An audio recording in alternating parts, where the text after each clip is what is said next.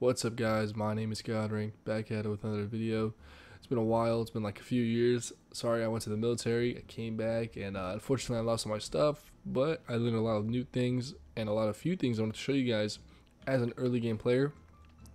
So I watched a lot of YouTube videos on how to, you know, bazaar flip and all these things, but one thing that I really liked was bazaar flipping, uh, buying stuff from the bazaar and being able to sell it to the NPC uh, just to make a quick cash. You know what I'm saying? I would I would do this like every day, uh, make like two mil. I think it is two to three mil. Honestly, just by doing this, it's really good. And you some people underestimate it, but it's really really nice to be honest with you. All right, let's get to it. So in my inventory, I have a list of things here, and I want to show you guys exactly the difference between uh, what you buy in Bazaar and what you buy what you sell to the NPC. So um, okay, let's go.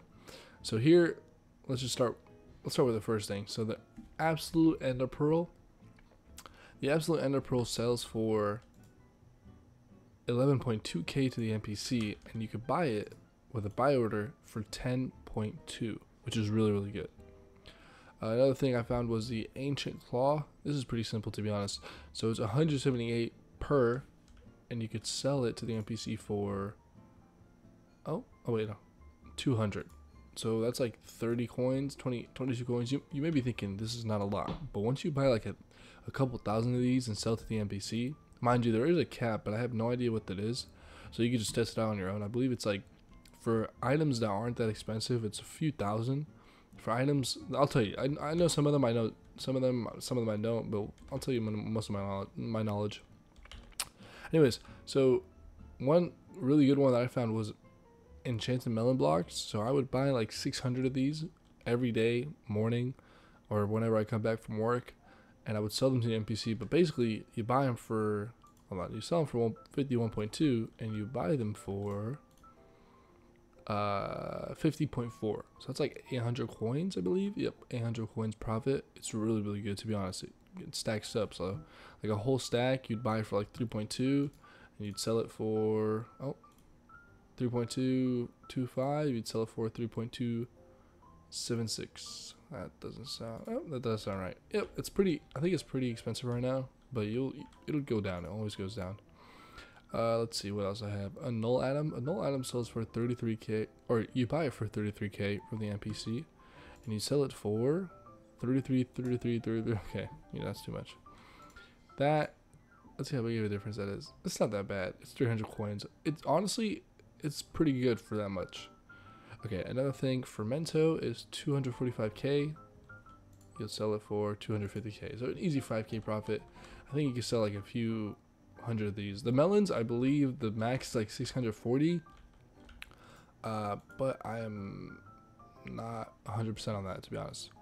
Okay, enchanted snow blocks. So they they go for 575 coins per on Bazaar you can sell them for 600 so it's a pretty good amount of cash. Probably i sold like i sold 2000 of these this morning so you could just sell those to npcs and some of you may be wondering you could just flip these like you could buy them for buy order and then sell them for sell order. Would be a lot better. But i don't personally like that because it just it's just a lot faster if i just sell it to the npc plus it won't hurt to uh, cap that NPC sell out that morning. You know what I'm saying? Quick cash, quick easy. You don't have to worry about no freaking, you know, sell orders and all that stuff. Anyways, so a crappie goes for 24k, 24.1. You can sell for 25k. Excuse me. Uh, 25k for the, you know, NPC. It's pretty good.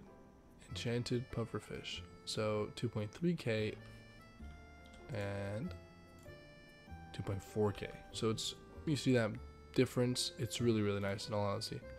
3k, 3.05 for enchanted clownfish, and it's 3.2 for NPC sell.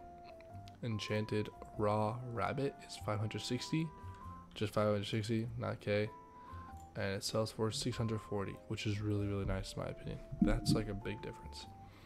Uh, and these things, you know, you can just sell them that's what I like to do. I, I usually just do this and I'd sell them. Uh, one flip that I really did want notice, and it's not to the NPC that I liked.